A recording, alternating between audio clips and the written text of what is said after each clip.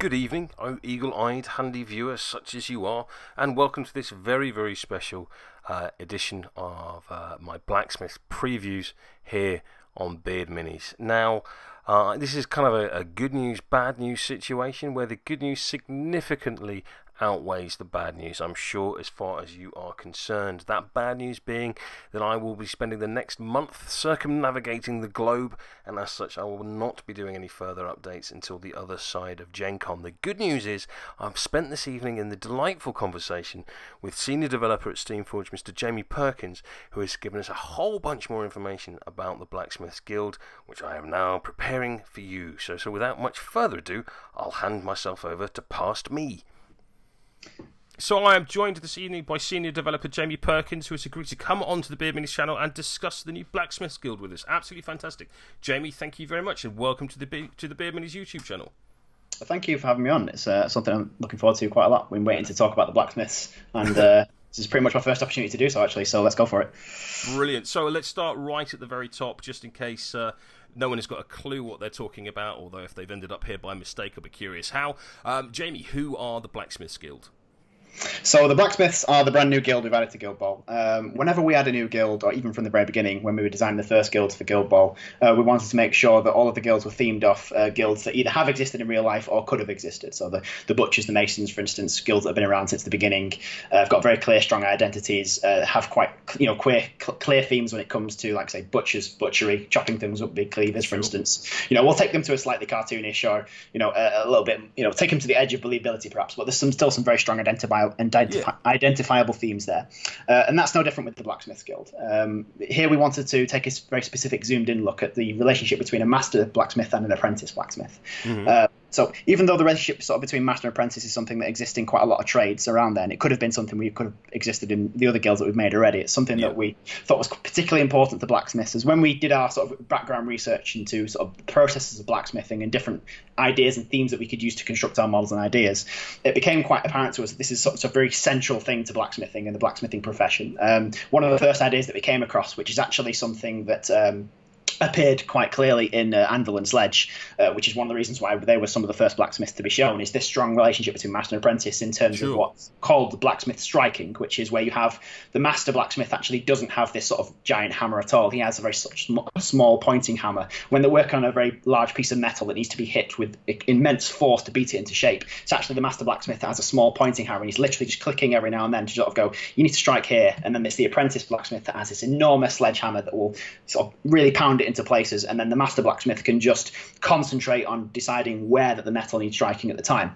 And mm. obviously, we've, we've tried to represent that in Anvil and Sledge by you've got this uh, master blacksmith who has his giant shield and is more concentrating on keeping himself alive and deciding where the opponent needs to be struck in order to cause the most amount of damage. And therefore, you've got Sledge who's going to be following shortly behind, and Sledge is being shouted at, going, "Look, you need to go and smack him in the legs over there, or whatever. You know, beat that guy across the head, or he's going to have weak armor in the chest, hit him in the chest, etc." And it's, it's that kind of thing we wanted to emulate with those two players. Um, but you'll also see this relationship between master and apprentice shown across the entire blacksmith guild. So they've they're all going to be um, not released in pairs, but when we release uh, groups of, of, of, blacksmiths in their boxes of six, you know, there will be three pairs in there, three masters, three apprentices, and they will all have links to each other. Um, so, yeah. Perfect. certainly from what we've seen so far, there are links both in that apprenticeship to master status as well as named links, be that the, the like the named link between Sledge to Anvil or, or, Cinder to Furnace from the four that we've seen thus far. But of course, with rules like, and I don't want to sort of dive too deep into rules just yet, just in case there are still people that were looking for a kitten video and have wandered on on here by accident. Um, but there, with with things like Sentinel, there is a, a direct relationship between between master and apprentice, regardless of whose apprentice that is. Is that fair to say? Yeah, absolutely. So uh, there was certainly two different states that we wanted to achieve when it came to the sort of mechanical relationship here. Is that we didn't we wanted to give you a reason to want to play the blacksmiths in their pairs, but we didn't want to say you can only play them in these sure. pairs. You know, you've, you've got a lot of um, sort of cross pollination without a bet, you know, for lack of a better phrase. Um, so that you know, you know, Sentinel is an ability that will work, as you say, with all different apprentices. There are a couple of those that exist throughout the blacksmith guild as well. So we okay. want to give you reason. So if you want to, you can mix and match different masters apprentices. You know, you get get you'll probably get a more uh, a simpler benefit to use, or you'll, you'll, probably have a simpler team to use if you do take the masters and apprentices in their pairs. But you can certainly mix and match different ones together, and we're interested to see actually what different kind of combinations people can mm. come up hmm. with, both inside and outside of the established pairs. Excellent, excellent. So where is it you see? Um, within within the current meta, for want of a better expression, where is it you currently see the blacksmith fitting in terms of how how they play on the pitch? Um, well, as with as with sort of all guilds in Guild Ball, a lot of that comes down to what players the coach sort of brings to the field. Because you can mm. take a, a, guild that's that we would designate as something of more of a fighter guild like the Brewers, and you can take a team that consists of say Spigot, um, or Veteran sure. Spigot rather, uh, Friday and Mash. And you've got quite a goal scoring oriented team there. So a lot of that does come down to player choice and how you play on the pitch. However, that said, they'll probably default to a sort of two goals and two takeouts, or four takeouts and one goal style victory win condition. So um, they they probably do it to err a little bit more towards the fighting styles uh, rather than scoring goals, but they are certainly capable. Uh, as you've seen with Cinder, they are certainly capable oh, yes. of, bang, of banging oh, in yes. a goal or two. How much play style difference do you expect captain choice because of course we with the it's worth mentioning the, the, the forge master rule at this point probably that you know when when people have picked their team um, and it is currently worded that is immediately after picking a team before setting up um, that someone chooses a, um, a, friendly master to be the captain, they gain a plus zero, plus two influence, and that they are the captain for the game. So, how big an influence do you expect that captain choice to be? Uh, you know, for a team that has both Anvil and Furnace in it for that first six that comes out, um, and whoever the, the, next master is that rounds out that set, how how nuanced a difference will a Captain Anvil compared to a Captain Furnace have on their their disposition on the pitch? Um, quite large, and uh, I mean, you, you've seen you've only seen two Captain Legendary so mm. far, and uh, even even the two that you've seen are quite different from each other in terms of effect. And One is quite clearly has an offensive effect, and one quite clearly has a defensive effect.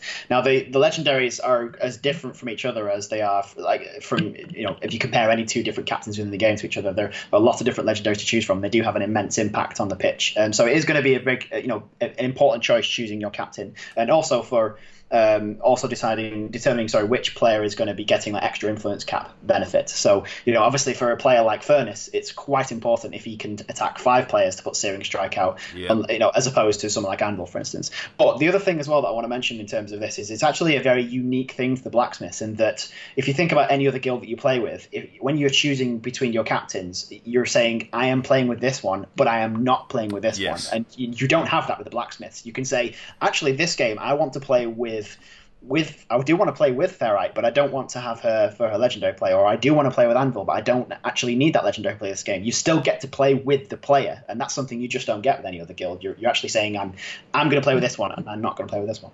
Makes sense. So, how have you found the reaction to the blacksmiths so far? Because so we've not, we've, we've not had a lot of information, but I mean, it's it's certainly gained my interest, as you may have noticed.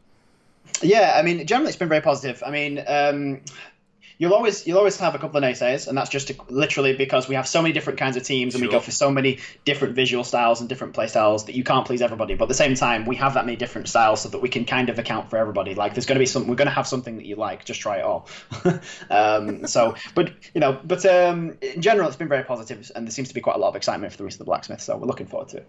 Excellent, excellent. A couple of quick mechanical questions, if I may, Jamie. Um, in terms of how people construct their they're six or they're ten um, whether that's building a team or whether that's building a roster. Is that apprenticeship rule going to be applied across both the models on the pitch and off the pitch as well, or is that not really something we, we're able to sort of look into at this stage? No, that's fine. I can answer that question. So um, when it comes to the, the, sort of the amount of masters apprentices you have, that only really applies to the pitch to the teams on the pitch. Sorry. So when you're constructing, for example, a tournament roster, it doesn't really matter how many masters apprentices you choose to have, as long as you can field a legal team in every match. So you know, if you know, in theory, if there were enough of the blacksmiths out, that you could have a roster of ten that consisted of three apprentices and seven masters if you really wanted to. But you have to field those three apprentices in every match because you've got to have them on the pitch. So that wording is, is very, very precise. It is when picking a blacksmith team, not when picking a blacksmith roster. Absolutely, yes. Uh, roster is the term. So ro- roster is the terminology that we use for, for picking. You know, as you say, your your, your tournament. Uh, you know, army list yeah. is a phrase that's used in a lot of other game systems. For us, it's roster. So when you're picking your roster, which is equivalent to picking your army list, writing your team sheet down for a tournament, then it doesn't apply there. It only applies to when you are playing the team on the pitch. But you, but you have to be able to field a legal team every time when, when you you know selecting your roster. So absolutely makes sense. Absolutely makes sense. Lovely. Um, what for you um has you most excited for what? Is to come for the for the blacksmith release? Um, genuinely, just the reaction. Um, I mean, it's it's a it's a necessary evil of the of the job that I work in that we have to keep a lot of secrets and we work on things very far in advance. I mean, uh, work on the blacksmith started about a year ago, um, roughly, give or take. And so we've been we've been having these really cool ideas about the blacksmiths and playing these games of the blacksmiths that we just can't even talk about. Like you have to kind of assign it as a swear word in your head that you can't say blacksmith out in the public when you're representing Steamforged uh, until it comes to a point when it comes to the release of things. And it is it's something we have to do because obviously in terms of we have to think uh, business sense, etc. About it's about the right times, right times in which you allow information to release to the public. But at the same time, it just be, kind of becomes like, for lack of a better phrase, we're almost like crack addicts for, for reaction because we're just like we've known we've known about this stuff for ages, and we're just like, please tell us whether you like it or don't. they, they, they, I know, sure. This is this is your prestige moment. This is the the round of applause from the audience in many ways, and of course, like any performer, right up into that final second, you've got no real idea hundred percent how it's going to go. Absolutely. Um, so I imagine Butterfly is all round at the moment, but hopefully uh, uh, with the release of the box set at Gen Con, or not release, but the pre-release and the release later on in the year, as we're all expecting, um, that that prestige will be exactly what you guys are after. Yeah, yeah, absolutely, and it's not just about praise either. You know, we we do want to know. If, you know, it's we're happy to listen to all the feedback where people. Obviously, it's always just opinion, but people we're happy to listen to opinions of where people think we've gone right, where people think we've gone wrong. You know, and we'll take those things into account in terms of our future releases and stuff. There is there is a lot of things that people don't realize how much. Uh, I mean, people sometimes do and don't. People don't realize necessarily sometimes how much just expressing their opinions can have an effect on us as game developers. We are listening, we're watching, which sounds really creepy when I say it that way, but we know we do we do look on Twitter, we do look on the forums, Facebook, etc. So we'd love to see these reactions, both positive and negative, uh, because it helps us not only um, know where we're going right, but also know where we're going wrong, so that we can learn how to be better game developers in the future. So. Sure. So speaking of, of reaction, that seems a, pretty good uh, segue to discuss the sort of the, the, the elephant in the room for many people in terms of mascots, or rather the lack thereof. And whilst I'm not really want to sort of focus on uh, forum threads or or, or or, Twitter feeds or anything like that. But what I'm curious about is the the development decision that led to removing something that many might consider a, a key aesthetic detail of Guild Ball. That the, you know, that there isn't um, a mascot along with a captain, and was it purely the the dedication to that apprentice apprenticeship mechanic that sort of drove that decision, or was this a sort of something that we can expect to see in the future as well? Um, it. Ooh. Ooh, there's a good little bit at the end of that question. Um, I suspect, I, I, I, have no reason to believe currently that this is something that we we have no plans to repeat this process at the moment. At the moment, gotcha. we, as far as we're concerned, this is something that's unique to the blacksmiths. Um, I mean, we can, was, line, we can draw a line there, and I shall we shall infer no more information from that response. Yeah, I mean, it's it's it's great that we have passionate fans, but mm-hmm. uh, but I mean, when as soon as the next guild comes out that doesn't happen to have a mascot, it's it's fine for that to be a one-off. It doesn't necessarily signal the end of Guild Ball or anything like that. I mean, and, I, and and Phil Phil from Guild Ball tonight knows I'm talking about this in tongue in cheek. He knows I, Phil knows I love him, and he was the person, one of the people that had a particularly bad reaction to the fact that there wasn't a, a mascot in the Blacksmiths. But that's fine, Phil. You'll get over it, and I love you. Um, but, but um, but to be honest, the majority reaction about this has been perfectly fine. People are happy to accept that this is probably a one-off. It's a nice little different thing for the blacksmiths to have, and it's good for, for every guild to be unique in a number of different ways. This is just one of the ways in which the blacksmiths are unique. Um, Sure. So, so, was it was it that um, we want a master, we want an apprenticeship, we want that pairing? How do we make that happen? Yeah, absolutely. I mean, I can tell you the original conversation of how that happened, which is quite simply Mat Hart walked into a room and went, "I want a team that's got no captains and mascots," and then left the room. Um, and then and then and then we sort of went, "Okay," and we sort of sat there and thought about it for a little while, had a discussion about it, and sort of the more we talked about it, the more we decided that we actually quite liked it and we'd like to explore this avenue. But it did mean, as you say, because we wanted to really, you know, push the boundaries of how far we could push this master apprentice thing, see how important we really could make it to the core of the guild. It just meant that there probably wasn't really any room for mascots this time around. But uh, but that's not necessarily a bad thing. As I say, it can, it, it can be a one-off. It can be something that people like, something they don't like, and if they don't, there are other guilds. So, aside from composition, And you, you've you've segued me beautifully here, Jamie. Thank you. Uh, so, uh, apart from from that composition from the apprenticeship rule, what is it that you believe the blacksmiths bring to the pitch that uh, isn't present anywhere else? What is the sort of the the USP, uh, that unique gaming experience that the blacksmiths will have? So there's a couple of things, um, some of which are, are, are, a little bit obvious and some of which are not. Uh, some of which are a little bit more sort of subtle. Um, some of the ones we've actually talked about already in terms of the, they're breaking from convention. They don't have conventional captains. They don't have conventional mascots, and mm-hmm. therefore or associated differences in the way that the team is constructed. That's one of the sort of the more forefrontal ways.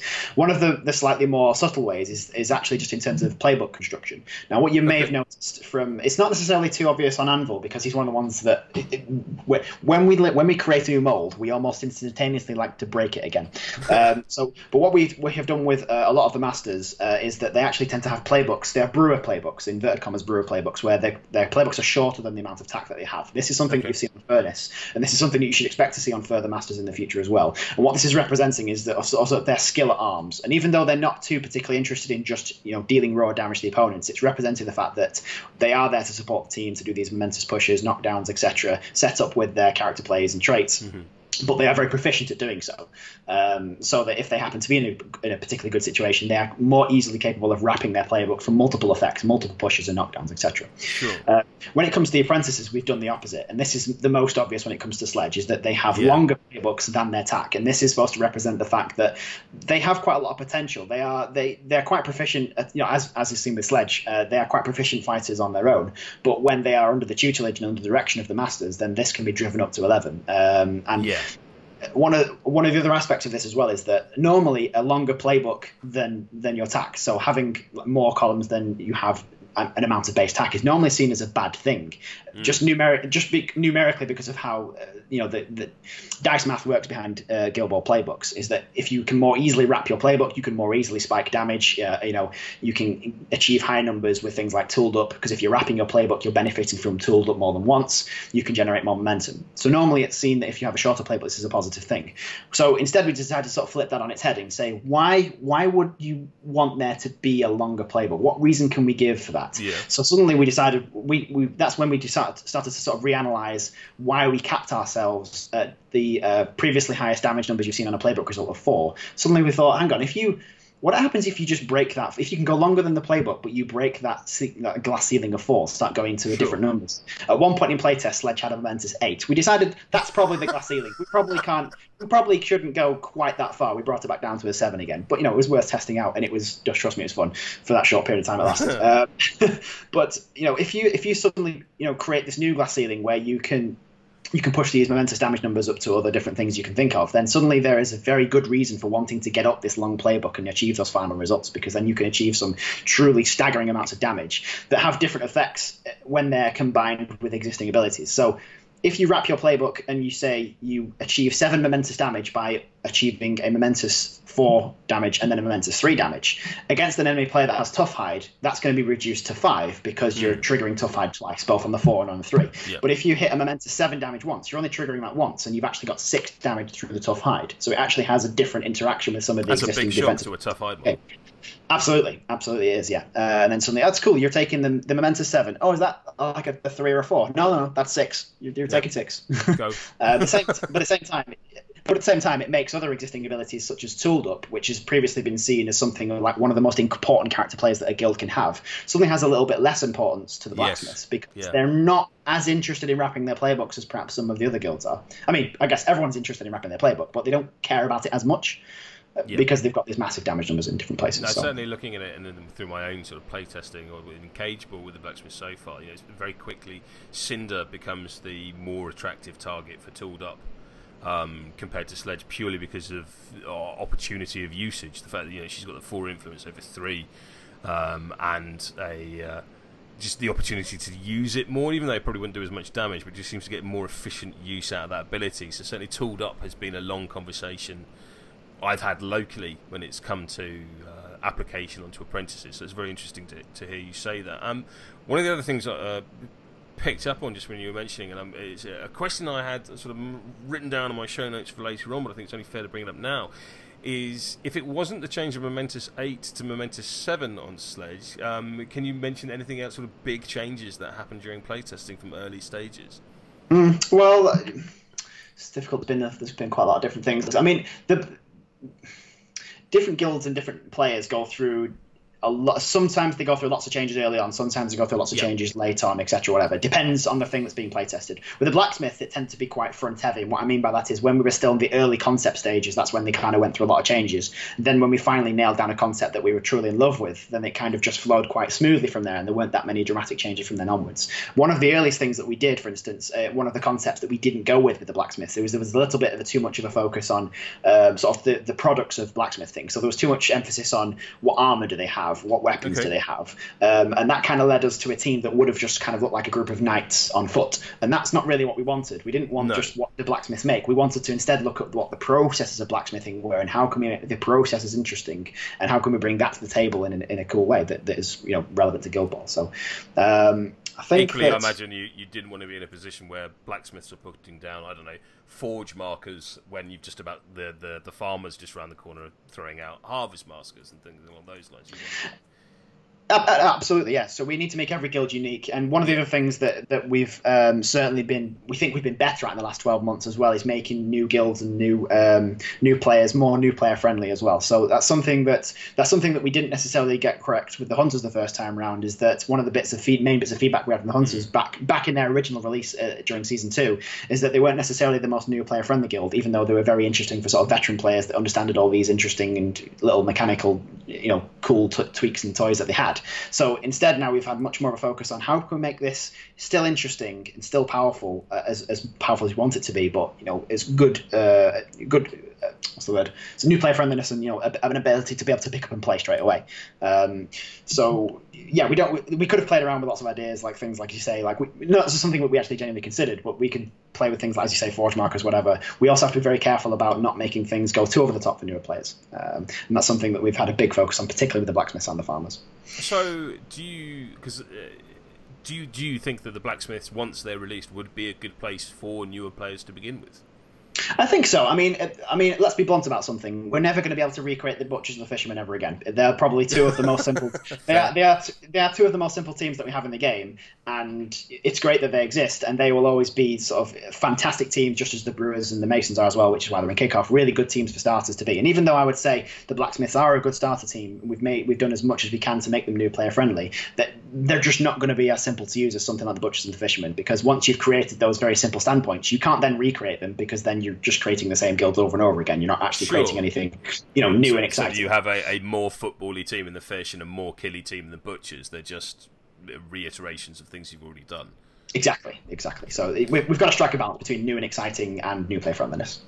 Perfect. So one of my regular opponents on the channel and a good friend of mine locally um, uh, John, who plays uh, Masons quite a lot locally, was from right from the, um, and I hope he doesn't mind me using him as an example here, was right from the very announcement of Vengeance and even sort of pre mutterings beforehand uh, he was terrified that all of his toys as a mason were going to be taken away from him. And as soon as sort of An- we saw the first look at Anvil, and he sees that, that armor three, the, the the, the the head goes down, and the and the and the, uh, the complaining, or not complaining because it was all in good spirits that they're exactly like Masons. It's just going to be another Masons two. And then Sledge comes along with knockback, and you know the the you know, comedy toys get thrown out the pram and pram in an exaggerated fashion even more. So how how important was it to you guys for this not to be Masons too, and how do you then ensure that that doesn't happen? I mean, this you make you make a very important point, and it's some, something that is crucially important. Whenever we make a new guild, it has to be visually distinct, visually unique, and it does it mm-hmm. makes to make sure that it doesn't cross over into too much of the design space of another guild. Now, the Masons, they even whilst they have had typically the, the, sort of the heaviest armor stats up until now, eh, it's not necessarily one of the things that we would have as sort of the most defining feature of that guild, and it, it's something okay. that we certainly. when fair. it comes to the black, when it comes to the blacksmiths, if we're going to represent heavy armor, there aren't too many ways to do that other than to just give them heavy armor. You know, um, but one, one of the things that we would have said about the Masons is sort of one of their core points that we really needed to make sure that we didn't overlap with the blacksmiths is in terms of their tactical flexibility, um, and this is something that will always be key to the Masons, and it's something that we've actually just, just improved with the Errata to Hammer to make him a much more tactically flexible and versatile captain. Yeah. Uh, and the ability to sort of turn their plan, uh, uh you know, on a sixpence or whatever, and just change around and go, actually, we're going to change our plan from you know um, takeouts to goal scoring or the opposite way around. It's something that the Masons will always be able to do better than anybody else to be able to switch their plan in, a, in an instant, or you know, do lots of. The other thing as well is sort of if you're not talking about sort of team construction and instead talking about what actually happens on the pitch, yeah. the other thing that the Masons get more than anybody else is actually breaking core rules of the game. Everybody else is, stri- is, is strictly limited to six activations. The Masons get a seventh if they take on. Mm. You know, um, and uh, you know, uh, it, linked as well is another one. Even though we've, we've duplicated linked in another way, they were the first people to be able to go. Normally, you can't get one activation then change it to somebody else. Actually, we're going to be able to do this all the time as a core rule, and it's really important to us because honor and harmony are two of the most centrally important players players to our guild.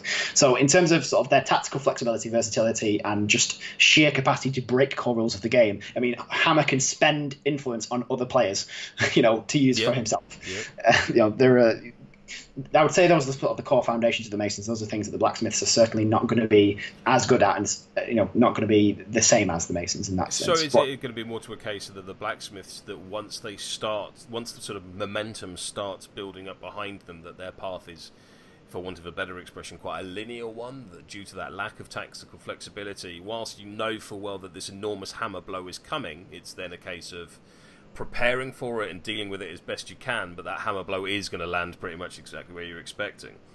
Um, I wouldn't say. I think linear's perhaps been a touch too harsh. I mean, mm-hmm. there's still there's, there's going to be an ability for the for the blacksmith to you know alter their uh, alter their target choice, and obviously it's down to the blacksmith player to play the team properly. But there certainly is that element there that you're alluding to of the sort of the wind up and then the the use of ex, ex, explosion of potential at the end of the turn. I think that's kind of a little bit obvious from in terms of literally just if you analyze just how Anvil and Sledge works, you've got the setup piece that will make Sledge fantastic it's, it's not exactly unobvious to the opponent if somebody gets knocked down and singled out by by Anvil and Sledge hasn't activated yet. It's not going to take too many people to, you know long to work out what's going to come be coming next. Um, and it is certainly is going to be a strength of people playing against the blacksmiths that if they can see the, the, the, better they can see these things coming and the better they can interrupt these sort of wind up chains then the better they're going to perform against the blacksmiths. And certainly higher tempo teams are, are also going to be quite strong in that sense as well because they'll have a you know, naturally a, a better uh, chance at being able to react and, and change to an ever flowing situation. With the blacksmiths are going to be a, a, touch more sluggish in this sense as well and they're going to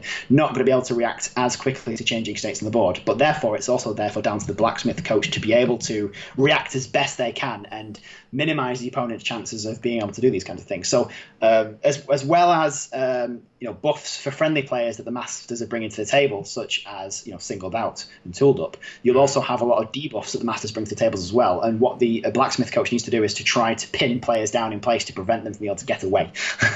um, yep. So that once they've done this bit of once they've done this bit of setup, you know knockdown is quite an important one, but people can you know people can clear knockdown. There will be other abilities that will be available to blacksmiths to be able to pin down a player in place so that they can't you know squirm away. Um, at least in too much of a sense where it becomes a game and it becomes a struggle, it becomes a tactical problem for both players to fix. It's certainly not something that has been predetermined one way or another. I kind of said that in a bit of a strange way, but I hope that sort of made no, sense. No, no, that makes perfect sense. Makes perfect sense to me. Um, just to ask a couple of questions um, about Furnace, if I may, because um, I think it, it gives me a degree of insight into how the design process works. In that we have see rules on his card which directly sort of play along to, to the backstory, or at least that which we know about it. You know, we can see the giant lava pot that he's got on his back. We can see from his rules like tempered steel, you know, these are molten blades that he's currently working on. So when it comes to rules like Fireforged, where, uh, for those people that are unfamiliar with it, that he ignores the first burning condition that's placed on it. In what order do you do you come to that? Is that a case of right? We need a model that deals with conditions in some way. I want them to have some degree of condition resilience let's then put everything around that, or is that a case of someone has whoever that is, you know, whether it's Matt, and yourself, Jamie, whoever it is that is in the office has come up with the the concept of furnace carrying these these molten pots around with him, and then let's put the rule around with it. Sort of, you know, is it a chicken and an egg scenario? I guess just to. Uh... Yeah, it is a little bit because there isn't really defined start and end point for it. I mean, um, in terms of the in terms of the blacksmiths, uh, it certainly started off with the concepts for the pairs. We started off with what is a good concept for a very for a couple of, of distinct distinct pairs of master and, and apprentice blacksmiths, okay. and, then, and let's go from there. And then what we'll tend to do then is once we've got the concepts down and go, this is cool, this works, this is something that they can relate to in real life, etc., etc. Mm-hmm. Then we'll try and find something that makes sense for that play style. And once we've established a few of those, and we go, okay, this is the kind of team that's been building up. What are the gaps that we can now fill in around it? So we'll we'll probably try and just naturally let the concept flow from our minds, and then once we've sort of done this. I'm going to do a really weird phrase again about this sort of mental diarrhea on the paper. Then we'll kind of look, Nice. oh, what are the different, what are the different areas that we can now fill up afterwards? That's uh, certainly not expected. Well, that's not where I was quite expecting that answer to go. But you certainly give us a a, a, a key insight into the inner workings of the Steam Forged offices that uh, but I don't think any of us were expecting. Um, so. Returning swiftly um, to, to their place on the pitch, what do you think uh, in terms of the opponents, the guilds that we already see? Who are they going to have a fantastic? Who are the, the blacksmith coaches going to have a fantastic time against, where they can get away with, with every plan that they've got in their head? And who are they going to be the, the tougher matchups for them? Uh, it's a difficult one. It's a difficult one to pin an answer that down down to with that. Um, you know, because I, I wouldn't necessarily that Guild Ball is a game that's inherent to what people have particularly fantastic matches, particularly bad matchups. I think there's going to be a Sure, we're not case there rock of paper scissors here. Exactly. I wouldn't say it's a rock paper scissors game. Uh, at least if you've built your roster properly, you should be able to, uh, you know, account. If you're, you're going to an event, for instance, you should be able to account for basically anything that you're going to play against. There will be slightly more difficult and slightly easier matches, but it's certainly not a case of. There should never be a case of I have lost this game before we've even started. Because if we've done that, then we as game developers have failed you. Um, it should always there at least be a game to be played there. Um, but in terms of sort of more general concepts, they're probably going to, as I alluded to a little bit earlier, they're going to struggle a little bit more against sort of higher tempo teams, teams with a little bit higher speed. Teams with a better goal scoring capacity than the blacksmiths themselves have, um, because they're going to because of that high pace, they're going to have a sort of natural problem or a bit ability to what's the word? The higher tempo team will have a good ability to change the pace and react better to what's going on in the table state. So if they can see this sort of synergy chain winding up in the blacksmiths because of their higher pace, they'll probably be able to react to it and get players out of danger faster than a sort of slower tempo team will be able to do so. Um, at the same time, teams that want to be able to fight the into the blacksmiths, uh, it's that's going to be a very tactically interesting game because the blacksmiths can fight. You know, I wouldn't say they can fight as well as, as the butchers in terms of like raw damage, raw damage output. But in in the same way that sort of the brewers and the butchers are fighting each other, the brewers have got enough punch to be able to kill butchers. Uh, but they also have to rely on their resilience in order to win that game as well, and that's certainly the case with the blacksmiths. When they're having a straight up fight, they'll have to rely on their resilience as well as their capacity to be able to annihilate enemy players. And it's, you know, it's strengths and Plus, weaknesses. plus also, also it's it, it, it, it, with, with it, it comes down certainly from, from like my own playtesting uh, of using them. Although yes, you know you you put um, furnace and anvil and sledge into people's faces. Certainly, sledge would be throwing damages out like uh, like no one's business. But he is certainly a glass cannon from my own experience. But equally, you know. Throwing people into a fight, and what I've found both Anvil and Furnace to be fantastic at so far is bullying position. Um, and whether that's you know going into like Tapper Brewers where he wants that commanding aura up, or whether it's um, you know the, the, the owner aura for, from Ox, if, if all of these require a degree of setup um, from from the opponent in just exactly the same way that a, that that blacksmith coach would be putting into it as well. Whereas you know going in with with uh, with Furnace and that momentous double push is not a tricky thing to to, to hit in. On either of the masters that we've seen thus far, and you can really sort of bully your way around into into people's fights without getting people to knock boxes off their character cards. Yep, absolutely, absolutely. It's uh, they.